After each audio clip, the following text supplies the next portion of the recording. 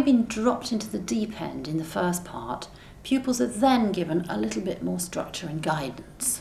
Uh, I liked stage two a lot better than stage one because we were given a sheet of like the beats to play and the notes to play on the piano and stuff, so we got to do it a lot quicker and it was found it a lot easier. I think it was really important for them to have done stage one before they did stage two because the bonding had already taken place, they worked well as a group, they knew how to set up their instruments and they knew the basics of how to play them. They still have to do oral copying from a CD and they're still working in friendship groups. But this time, the song on the CD has been chosen for them.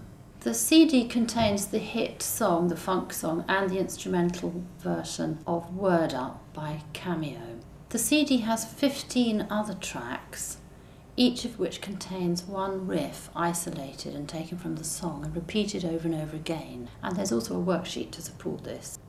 Teachers demonstrate a selection of the riffs, both by playing them on the CD to the class and by playing them on a variety of instruments. Okay,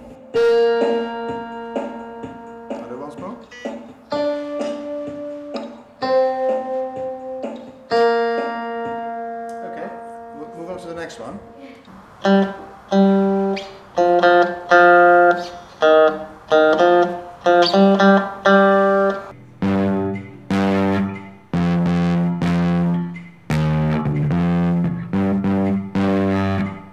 they were able to jam almost immediately. They were able to actually exist as part of a group playing the roles that they would play if they were more experienced musicians. Yeah, it's a really easy song to pick up. The Word Up one by Cameo, that was really easy to pick up because you get different tracks with like the riffs and everything to play on which is really good. Helped a lot. Some pupils preferred the greater freedom and choice of the first part, but others preferred the greater structure and guidance of this part.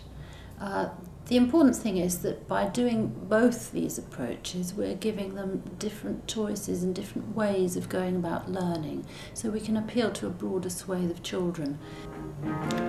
The task for the next few weeks is to copy the riffs orally from the CD, again working in friendship groups, and to put them together as a band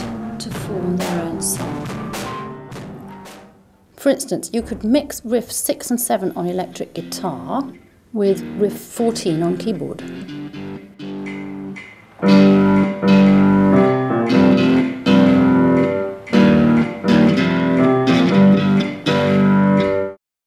Or riff 8 on bass with riff 12 on keyboard.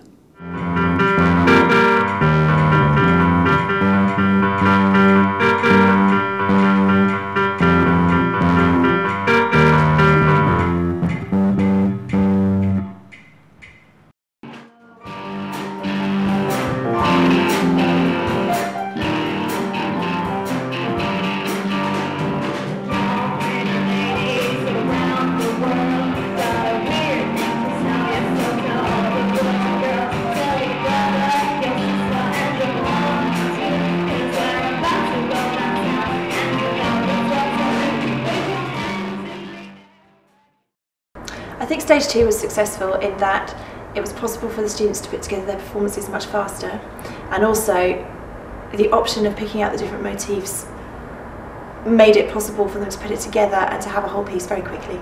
And now they work through stage two, and what they've done, they've really honed their skills in now.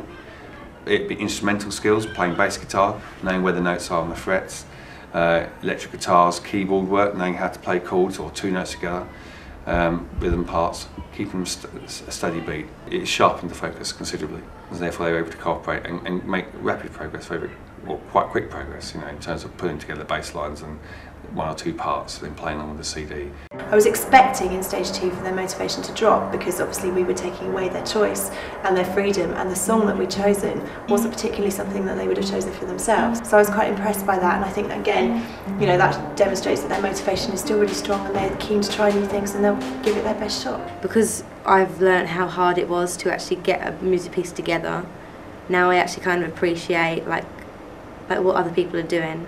And everyone just seems like they're enjoying it rather than not enjoying it and getting bored. Everyone didn't seem like anyone was bored at any point. Everyone like really was excited about it. Very few actually ever use a CD player. In fact, after a couple of weeks, they didn't need it anymore. Now, that I think is a sign of actually progress in terms of them being able to hold their own parts in an ensemble situation. You know, but the, the standard of musicianship was incredibly high. But I think it speaks for itself, doesn't it? The kids, the kids do enjoy it, don't they?